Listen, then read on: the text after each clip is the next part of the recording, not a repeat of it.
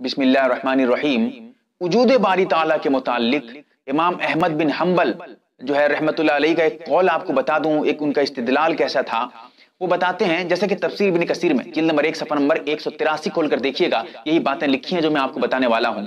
بات یہ ہے کہ امام احمد بن حنبل رحمت اللہ علیہ یہ فرماتے ہیں کہ ایک مضبوط قلعہ ہے، بالکل بند ہے۔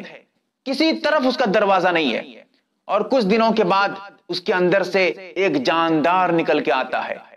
تو اب اس کو کھلانے والا، پلانے والا، اس کے اندر جان ڈالنے والا، اس کے اندر جو ہے، ایک جاندار کو پیدا کرنے والا کوئی تو ہوگا۔ خود بخود کیسے بن جائے گا؟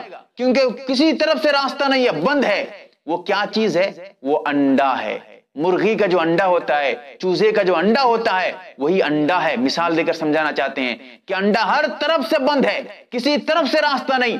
لیکن کچھ دنوں کے بعد اسی انڈے کے اندر سے ہر طرف ایک ذرہ سوراخ تک نہیں ہے اس میں۔ ایک ذرہ بھی سوراخ نہیں ہے۔ اس کے باوجود اس کے اندر روح ڈال دی جاتی ہے۔ کچھ دنوں کے بعد اس کے اندر سے ایک چوزا نکل کے آتا ہے۔ مرغی کا بچہ نکل کے آتا ہے۔ تو لہٰذا یہ کام کون کرتا ہے؟